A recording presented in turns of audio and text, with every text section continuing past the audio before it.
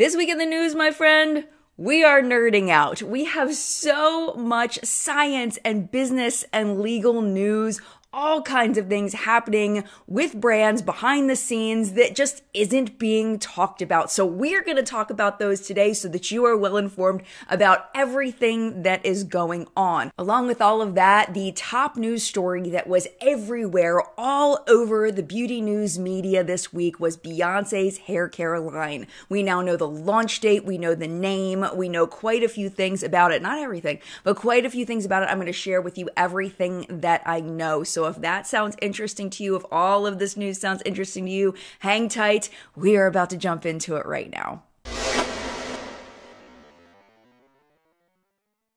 Hello, my friend. Welcome back to What's Up in Makeup, where we talk about everything that is happening in the beauty space, in all of the brand news, all in one place. So, let me tell you first story.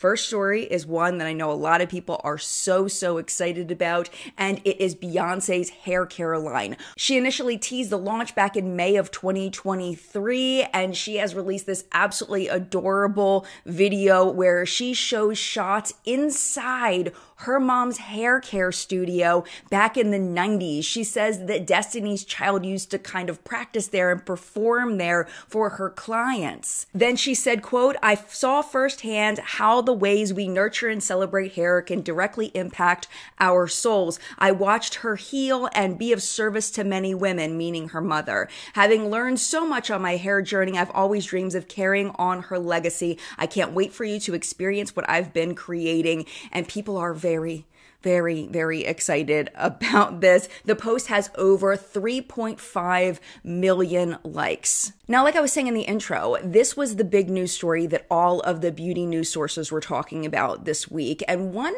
particular news source brought up something that I hadn't noticed before, and it's the fact that Beyonce's fragrance line is called Cé Noir, and the name of the hair care line is Cécred. It's spelled the same way. As of the time I'm sitting down to film this, the actual products haven't been launched yet, but they are going to be shown very, very soon because launch date for Cécred is February 20th of 2024. That is so, so soon. Right before I sat down to film, I noticed that there was another video that Beyonce launched about the hair care line. And I was very interested to see that she had kind of a diverse group of people that she was doing the hair of. I assumed that it was going to be specifically for black hair, but apparently it's not. Even Bretman Rock, who used to be a beauty influencer, makes an appearance in the video. So I am very excited to see where she's going to go with this hair care line. I would imagine it's going to be mostly focused on black hair, but I think it's pretty cool that she might have some products that might be a little bit more universal so that other people can try it as well. I know a lot of us are kind of exhausted by celebrity beauty lines, but I'm curious to know what you think about this. Are you excited, or to you, is it just another celebrity line? I'd love to know in the comments.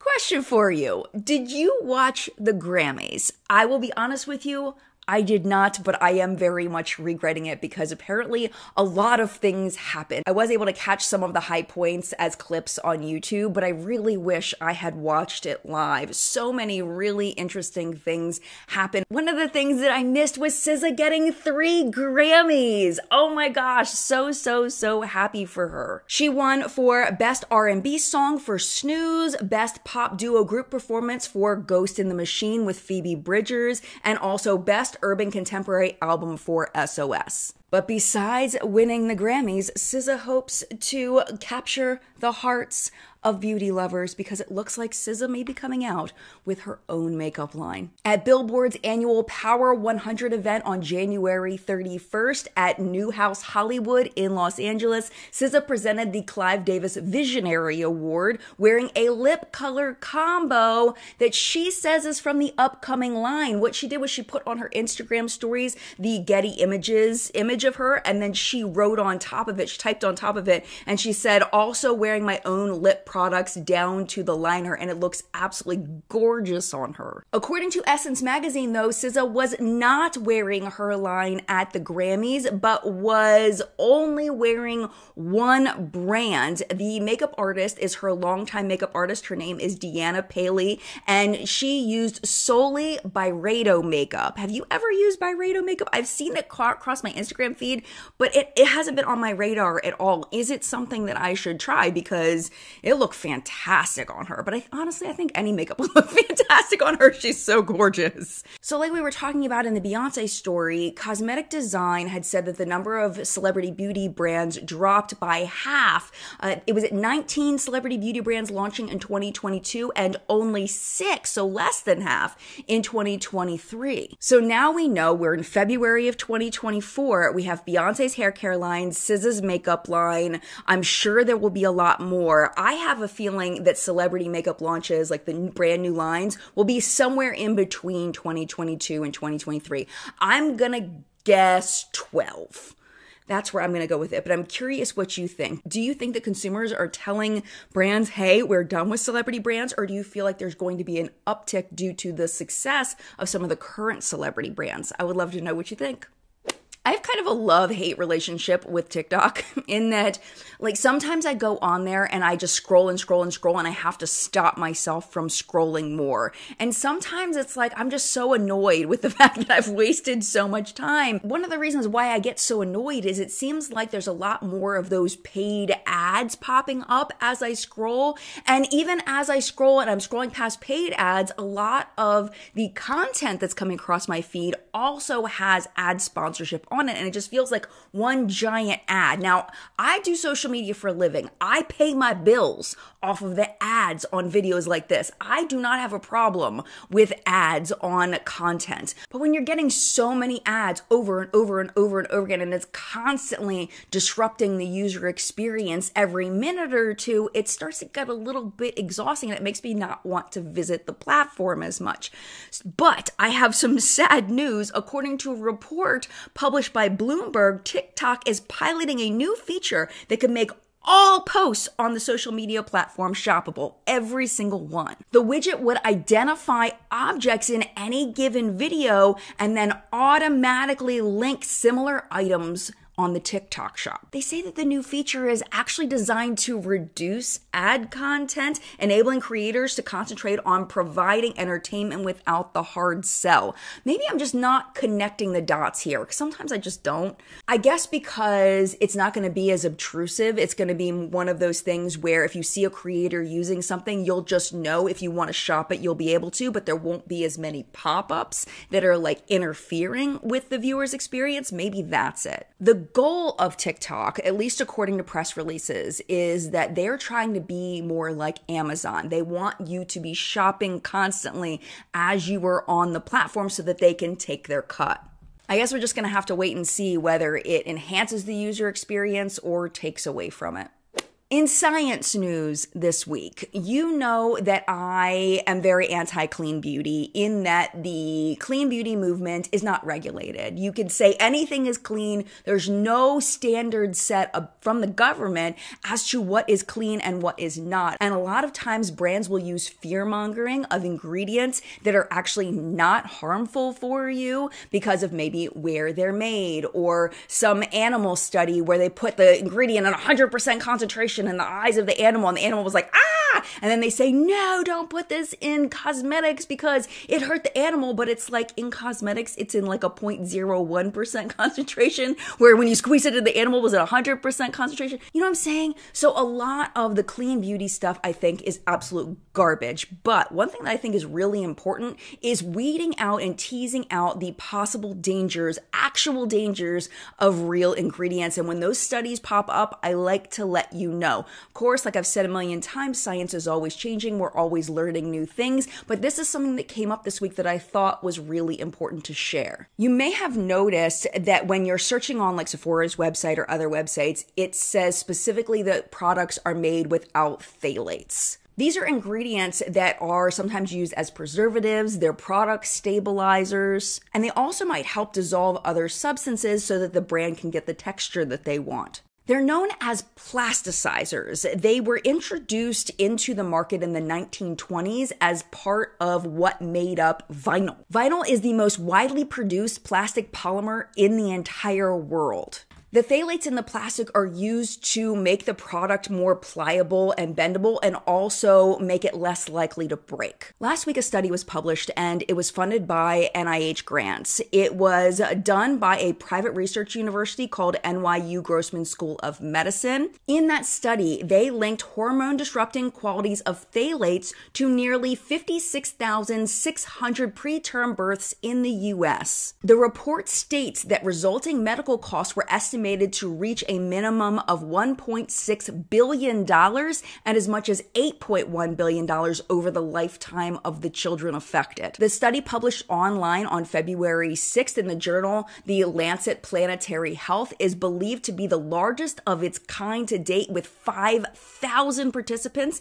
and includes information from a much more racially and ethnically diverse group of women than previous studies on the topic. The purpose was to evaluate the prenatal exposure to phthalates. And what they did was they tested the urine of these 5,000 different women and they tested them for these 20 different metabolites. That's the breakdown of the phthalates that you find in the urine. Then they compared how much of the metabolites they found in the urine versus the frequency of the preterm births after the babies were born, they looked at the impacts on the weight and the gestational age of the babies. Because of what the researchers found, they put out a strong call for the regulation of phthalates in general in our products that we use. It's really important to note here, though, because we are in the makeup news space here, that we don't know where these women were exposed to the phthalates because phthalates are so common in these polymer plastics. So it could have been through cosmetics, but it could have been through so many other things. So my point in sharing this with you is it seems like removing phthalates from cosmetics is not a bad idea. We don't have a direct link between cosmetics and the preterm births and the problems, but if we can find replacements for those, it sounds like that's a fantastic idea. And if you are pregnant or trying to get pregnant, you may want to look for phthalate free makeup and cosmetic products just in the utmost of caution. Makeup products and other cosmetic products that are phthalate free. It is time once again, my friends, for legal news.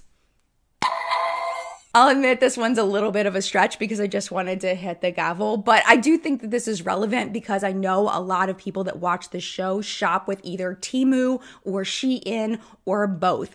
Did you know that these two companies have been fighting for like a little over a year. They have been fighting in court back and forth. You know, you did this to me, but you did this to me. A lot of it having to do with copying and copyright claims. And you stole this from our website and you stole this image from us. It's a lot of that kind of thing. If you're not familiar with the two companies, Shein and Temu, they sell all kinds of stuff from cosmetics to jewelry to things for around your house to toys and clothing and everything, like all of the things.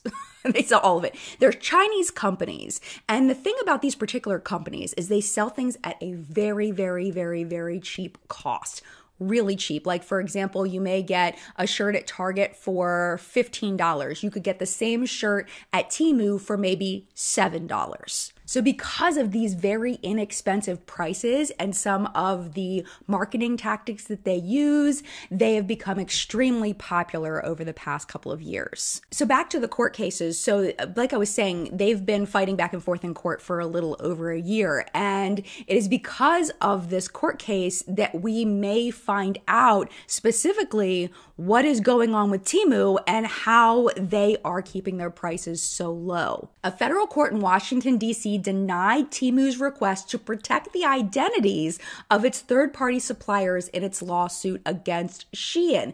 Temu alleges in the complaint that Shein is engaging in a far ranging effort to intimidate its third party suppliers, quote, mafia style and retaliate against them for doing business with Temu.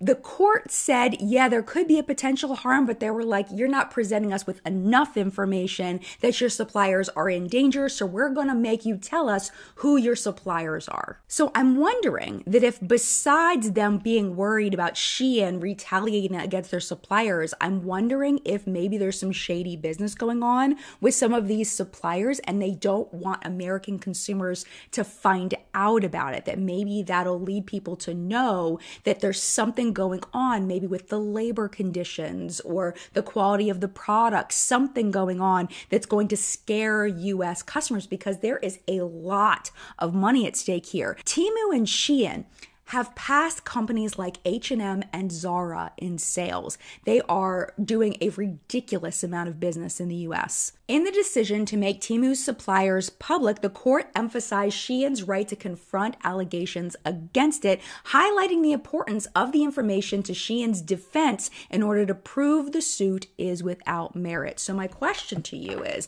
do you buy from Shein and or Temu? I know some people call it Sheen.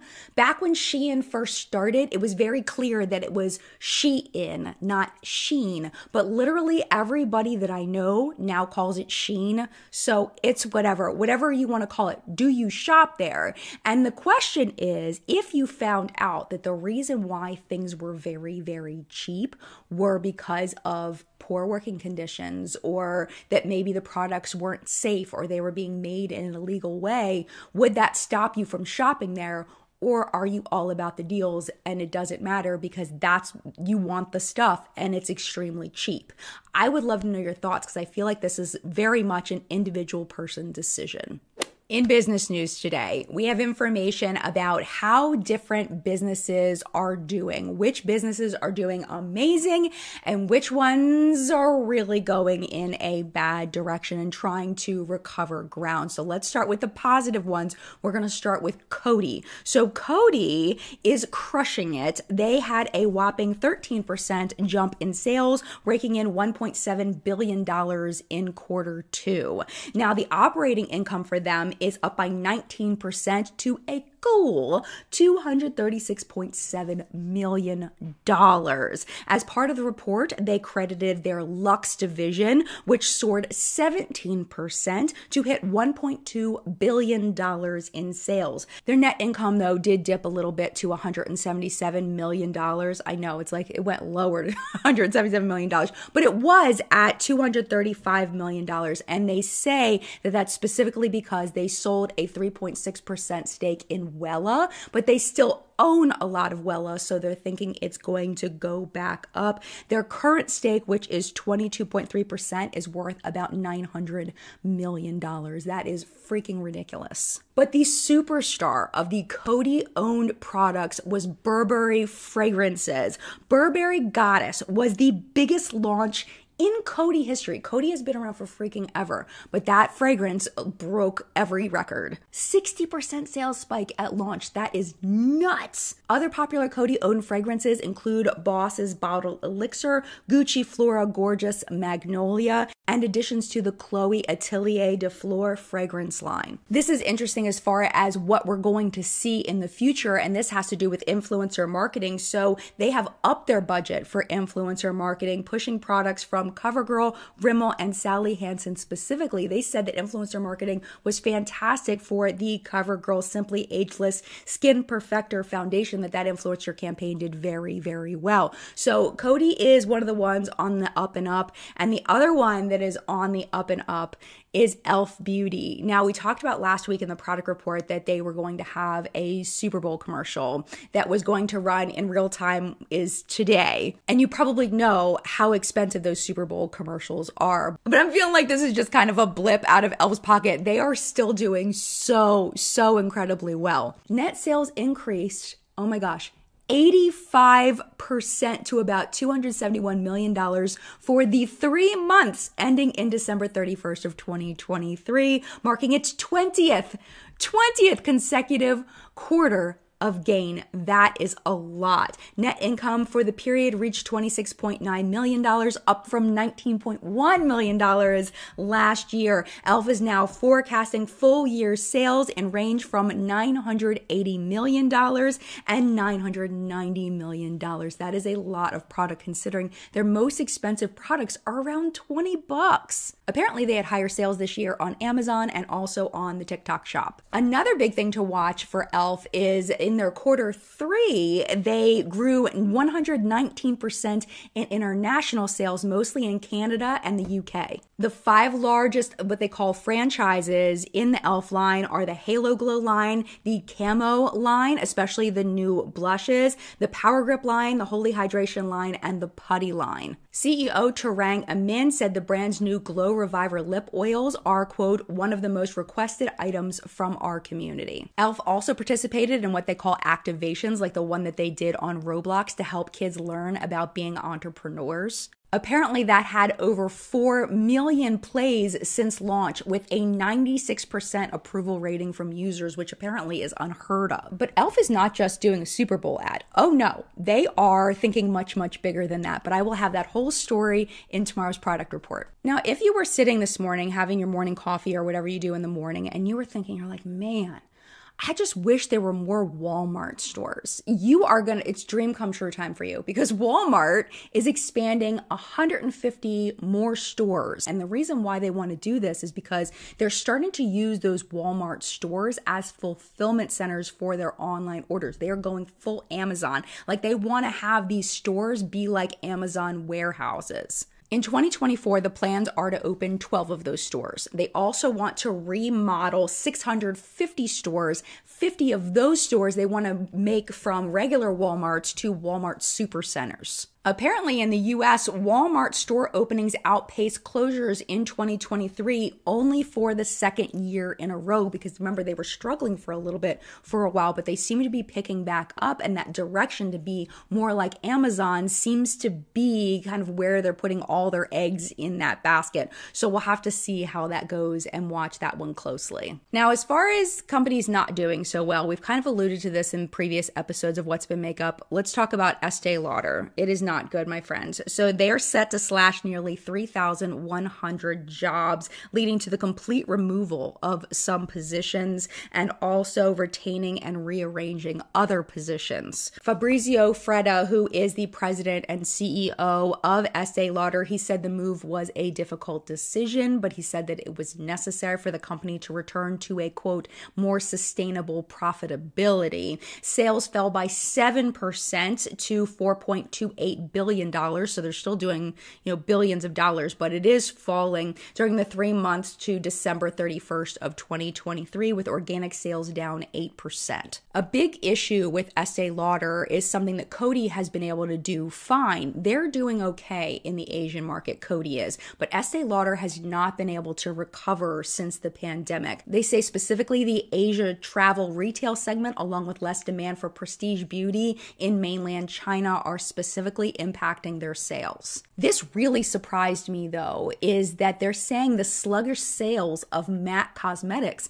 is also very much impacting them. Now, this didn't surprise me because I remember when we did the story and y'all were pissed about this. One of the reasons why they're saying MAC Cosmetics has more sluggish sales is because they changed the back to MAC program. And a lot of y'all were pissed about that. So I'm not surprised that that's impacting things that y'all didn't like those changes. And now that's impacted MAC's sales. The plans are to increase their focus on brands like Clinique, The Ordinary, La Mer, and Jo Malone fragrances, as well as trying to regain that ground in China. Another big parent company that's struggling is THG or the Hut Group. They own so many brands over so many different categories, but in the beauty space, you may have heard of some of the brands like Eyeko, Illamasqua, Perricone MD, and the beauty subscription Glossy Box. THG is looking to cut 160 jobs that they call redundancies across its operations. The headcount cut will be split between marketing and sales roles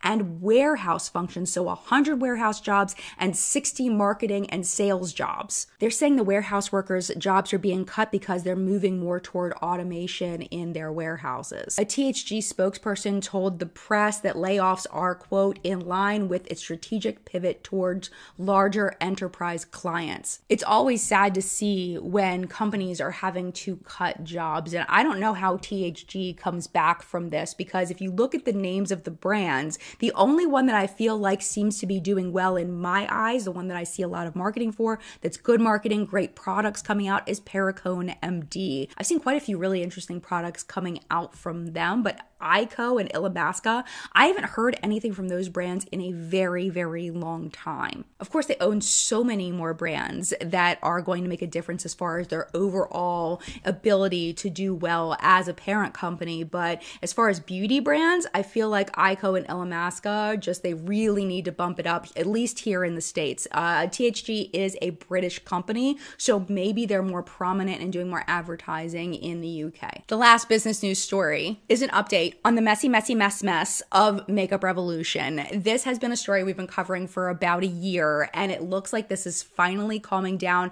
This may be the big resolution to all of this. If you don't know this story, basically there were two dudes at the top of Makeup Revolution. There's Adam Minto and there's Tom Allsworth. They were the ones that started, well, I know at least Adam Minto started Makeup Revolution. They're they're the big guys, right? They got in big trouble for alleged shady business. And that alleged shady business led to Makeup Revolution not putting out their numbers like they were supposed to as far as what their their financials were for the year of 2022. So because they didn't put their numbers out, they were removed from the British Stock Exchange and Revolution lost a ton of money. So the update is that Revolution Beauty has announced that it's reached a settlement with Adam related to the events that happened back at the end of 2022. Under the terms of the agreement, Adam has agreed to pay the company 2.9 million pounds in 6 annual installments.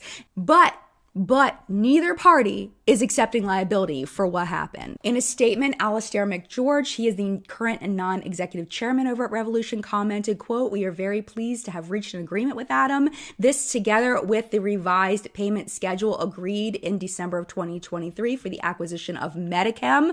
That was the Tom Allsworth piece. Medichem was a, a company that Tom Allsworth started, and then Makeup Revolution bought it for 23 million pounds. Again, it was a whole big messy mess, mess, mess. They say that now that they are settling out those two pieces, they can now focus on the future. They said they look forward to providing an update on their strategy at their upcoming capital markets event. So it seems to be calming down over there at Makeup Revolution. And I genuinely feel like if you did not follow this show or if you don't keep up with what's happening in the beauty news sources that are online, you have no idea that just was going down over at Revolution over the last year. Uh, it was a freaking mess over there. So it seems like things are kind of starting to calm down and the leadership is finding its footing. So we'll just have to see what happens and what we see on our end as customers. So this last story is kind of a feel good story and it's I like to end what's up in makeup when I can on a happy note and it's related to the fact that I feel like every person has at some point or another go, had to go out in public and there was something about our appearance that we didn't like and there was nothing we could do about it. Like maybe it was a blemish or a scratch or a scar or um, a bruise or a cold sore or something on our face where we're like everybody's staring at me and you just didn't feel confident because of that thing. And there seems to be a push from brands brands to try to normalize and try to help people not feel bad about some of these things that just naturally happen with our bodies. And Abreva, who makes products to treat cold sores, they want people to quote, rock their cold sores with confidence as they unveiled a pair of diamond lips adorned with one ruby to represent a cold sore. The piece was fashioned to destigmatize the condition. They say that two out of three young cold sore sufferers say their self esteem and confidence is shaken when they have a cold sore. The lips are made of 197 lab grown diamonds set with white gold. Cold sore sufferers can enter to win this set of lips, as well as a chance to take home one of a select number of sterling silver lip necklaces also featuring one single ruby. From now until February 29th, you can enter to win at www.abreva.com slash diamond lips. It's going to be in the description box down below as well. One winner is going to take home the lips alongside Abreva Cold Sore Cream and an all new Raid Pain Relief product. 25 first place winners will win the sterling silver necklaces with the one ruby, and then a select number of other winners will just get free product. And I thought that this was really nice. I think that it's easy to just kind of dismiss this and poo poo this. It's like, ah, you know, and, and see this as a negative. But, you know, when we have things that happen naturally within our bodies and there's nothing that we can do about it,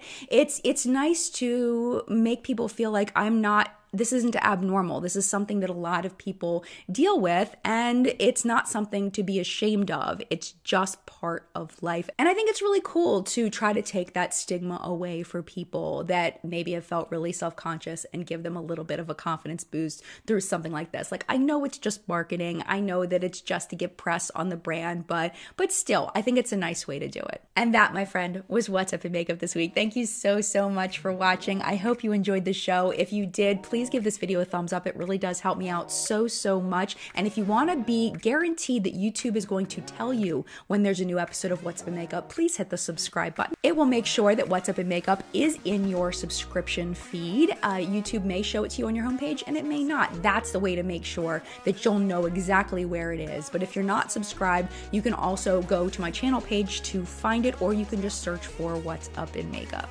Thank you, as always, to the What's Up in Makeup Facebook hunters. Their names are scrolling below me. Thank you so much for all of your submissions this week. I appreciate you so, so much. Our chat today will be at 10 a.m. Eastern Time. Hopefully, you can hang out and join us as we talk about makeup. But if you can't, it is no problem at all. You can also watch it on the replay by going to my channel page and clicking on the live tab. If you are subscribed, it'll just be popped into your subscription feed. And if you would like to listen to it as a podcast style, the What's Up in Makeup live chat podcast link is down in the description box down below. Thank you again so, so much for watching. I appreciate you more than I could ever express. If you would like to hang out just a little bit longer, YouTube should be recommending a couple videos for you over here to watch, including last week's episode of Top News of What's in Makeup's going to be down there. YouTube's going to pick the top one based on your viewing history. But if you got to go because you got stuff to do, I get it. It is no problem at all. Thank you for hanging out as long as you did, and I'd love to you. I will see you in a video very, very soon. Bye.